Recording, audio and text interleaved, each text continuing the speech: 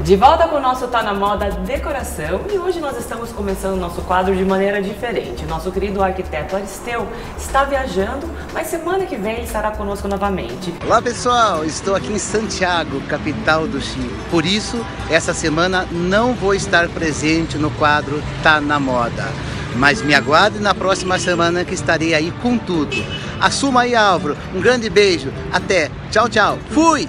Então temos um convidado especial para a nossa matéria de hoje. Eu estou com o arquiteto Álvaro de Lima Castro, ele que é arquiteto há mais de 25 anos, 15 em Itapetininga. Tudo bem, Álvaro? Tudo bem, Fernanda. E também estou com o Jefton Duarte, proprietário aqui da Porto Belo Shopping. E nós temos uma matéria interessante para vocês. O Álvaro vai contar para gente qual vai ser o assunto que vamos abordar hoje, Álvaro. Fernanda, hoje nós vamos falar sobre concreto, sobre revestimento padrão concreto. Eu tenho observado que o concreto, não sei se vocês têm notado, o concreto está voltando à, à moda. Não só o concreto, mas todo tipo de revestimento mais orgânico, mais natural, o amadeirado, a pedra. E é muito interessante a, a maneira como a indústria do porcelanato é, responde a essa demanda, oferecendo diversas opções dentro, da, dentro dessa textura de concreto. O concreto para nós ele é muito significativo na arquitetura brasileira. Então a gente tem exemplos assim muito fortes que todo mundo conhece, que é o caso de Brasília. E São Paulo, ele é muito emblemático na arquitetura paulistana. A gente tem uma arquitetura muito própria nossa é, na cidade, no estado de São Paulo, que a gente chama de arquitetura brutalista. Tem é, um uso assim mesmo em larga escala do concreto. Então, a, se, se você prestar atenção nessa na, na, grande variedade que se usa é, desse material, você vai encontrar concreto com texturas é, lisas, formas metálicas, formas de madeira, cada um tem uma característica muito própria. Isso acontece diferente no Rio de Janeiro, São Paulo, Brasília. E é isso que nós vamos mostrar um pouquinho aqui, como é que a, o porcelanato responde a essa demanda. E aqui na Porto Belo Shopping, Jeff, a gente pode encontrar revestimentos que imitam o concreto. É isso, isso né? na verdade eles, eles fazem uma reprodução do concreto, né? E em todas as suas formas, né? Como o Álvaro falou desde um concreto que ele era feito antigamente em formas de madeira, que ele tem a textura dessas formas de madeira, um concreto mais pigmentado, um concreto mais marcado, como se tivesse sido feito à mão mesmo, né? E com uma grande vantagem, né? Você não precisa aí gastar muito dinheiro pra, com toneladas aí. Ou... É, qual que é a dificuldade de ter o concreto? Ele, ele, é difícil de fazer o concreto, né? É, o concreto já houve uma época em que era uma coisa mais natural. Você não tinha essa, essa você não tinha opções a ele. Então, é, se imagine, para você fazer esses edifícios dos quais nós estamos falando de concreto, então você tinha que fazer uma forma gigante de concreto, praticamente você faz, fazia o Maciço, edifício de madeira nossa.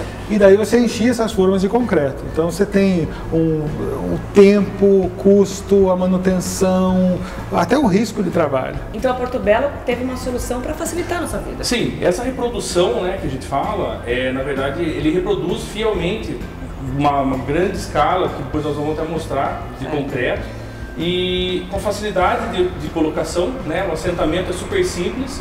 Você vai ter o concreto na sua casa, você vai ter o modernismo, você vai ter aquele gancho, aquela, aquele link das grandes metrópoles e com a facilidade de limpeza, com não precisa fazer nenhum tratamento e a beleza do concreto, né? Olha pessoal, como a gente falou ali na mesa, agora nós vamos mostrar essas linhas de concreto da Porto Belo Shop, que são exclusivas. É, hoje a Porto Belo Shop tem três linhas principais de concreto. Nós temos a linha Brasília, que remete à cidade de Brasília, as obras do Oscar Niemeyer. E é uma linha bem que puxa para o cinza, né? É o cinza em suas variações mais de tons mais escuros ou mais claros. E em vários formatos. Todas essas linhas têm vários formatos.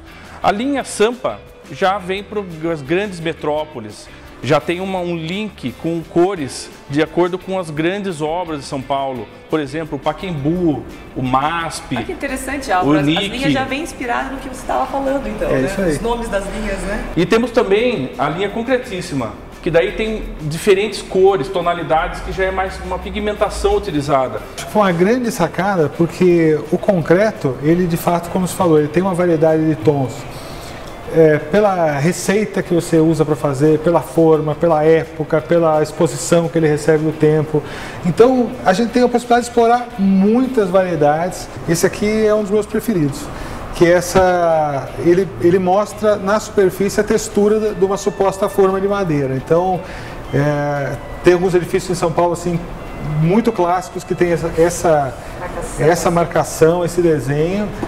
É, e eu acho muito bonito. É, ele não é cinza, ele é concreto mesmo, né? Você vê a marca é, da forma. Olha esse aqui, por exemplo. Bonito. Mesma coisa, né? Bonito. Ele tem uma textura muito. Se você. Não é só a cor dele, se você passa a mão, ele tem uma textura muito legal.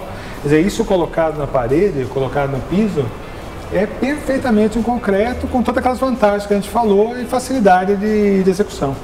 É muito Esse aqui legal. já é uma ideia nova, né? Da Portobello, né? Esse aqui eu costumo dizer que eu acho que isso aqui é um momento em que a Portobello foi além. Porque embora ele tenha uma textura bem marcada de madeira, é um tipo de, de forma, até essa colocação que está aqui, que não, não, é comum no uso do concreto mesmo. Mas eu, eu acho bem legal, é uma leitura que a Portobello, da minha opinião, fez. Ele tem diversas cores, você pode fazer uma mistura e dá um efeito bem legal. Ou usar reto também, como no banheiro que a gente está mostrando. Sim, né? sim, tem ali no banheiro que nós vamos mostrar. E esse aqui, esse piso, eu gostaria que você comentasse um pouquinho se separou uma ideia pra gente aqui, né? Isso, esse aqui, Fernanda, é um piso, é uma outra linha, não tem nada a ver com concreto que é uma linha é, amadeirada da, da Porto Belo, mas que eu acho que fica muito legal de usar é, junto com o concreto. A gente tem feito alguns trabalhos assim, então requadrando o ambiente com a madeira e deixando o concreto no meio. Quer dizer, permite. Várias é, ideias. Nós estamos falando de concreto, mas esse, como o concreto é uma superfície bastante neutra, você pode misturar com o que você quiser, com cor, com qualquer coisa. Bom, então vocês conheceram um pouco mais sobre alguns revestimentos da Porto Belo. Muito obrigada, Jeff. Então, Eu que agradeço a presença de vocês. Muito obrigada, Álvaro, pela sua agradeço, participação, pelas suas dicas. E, Jeff, então, para quem quiser conhecer mais os pisos, entre em contato com você, né? Isso, pode procurar, nos procurar aqui na, na Porto Belo Shopping da Pitininga, o endereço deve estar passando aqui por baixo. E também você pode acessar o site casas.portobelo.com.br para ver as ideias de todos esses, esses pisos que é muito interessante. E temos lançamentos aí, já chegando essa semana aqui na loja da Petininga.